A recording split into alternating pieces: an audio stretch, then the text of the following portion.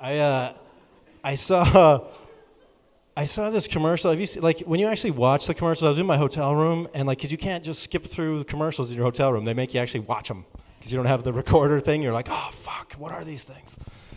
And it's like I think we're just getting really stupid. Like, are we getting fucking dumb or what? Like, the, I watched there's a commercial on there for Domino's Pizza, and they have a a pizza tracker. Have you heard of this thing? Like, you can call you can call up and see what phase your pizza's at. Does anybody here want to know what phase your fucking pizza's at? It's it's 15 year olds making it like if you catch it in the middle, they're gonna be like, oh, right now it's at the phase where we're trying to make it look like it didn't fall on the floor. So. Uh, just sliding the toppings over to the other side and picking the hair off. It's past the phase where nobody washed their hands. It's past that phase. So don't worry. It's fucking ridiculous. So gross. I saw another ad for that uh, Febreze. Have you seen that shit? Oh my God! What a fuck! These commercials are awful. Like you're I'm watching this Febreze commercial. They take people, they blindfold them, and they take them into like a warehouse full of like dead homeless people. and they spray the Febreze around. They're like, "What do you smell?"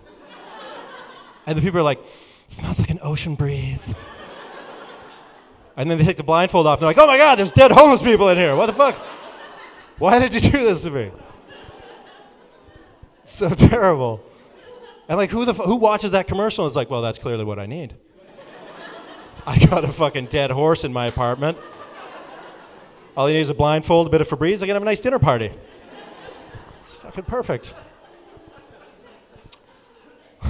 I think the most disgusting one I've seen is that is that Charmin commercial with the it's got the cartoon, yeah, the cartoon dancing bears, and he's got toilet paper on his ass, and the slogan says Charmin leaves fewer pieces behind.